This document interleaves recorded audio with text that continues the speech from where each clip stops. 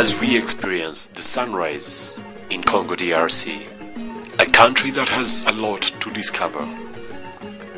Some of which are the volcanoes, gorillas, the bonobos, and the endless jungle that give you the African nature.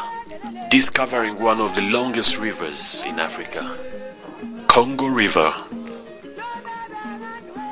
As we keep discovering, we meet David, a Congolese who has always had endless stories to talk about in DRC.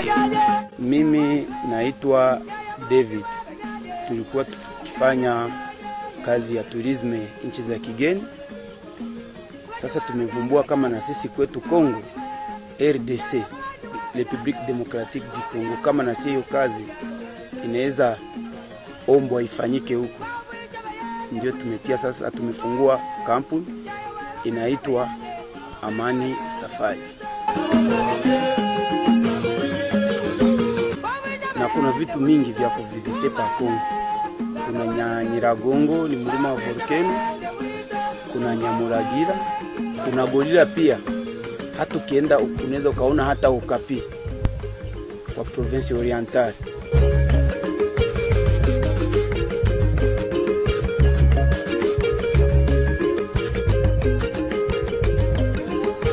Greg Bakunzi, the man of the jungle, tells us on what he discovered in the country that has a lot to reveal.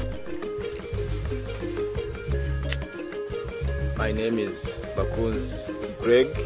I am one of the founder of Amani Safaris. There is a lot to see from the primates to mountains.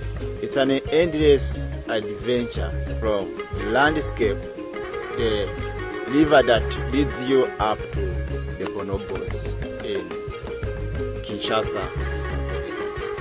Go to the south, you see all these lowland gorillas through this beautiful lake. It's an amazing country. We have got very beautiful lodges. Mikeno Lodge, one of the beautiful lodge. You can camp on top of the volcano under these beautiful huts that are on top of the volcano.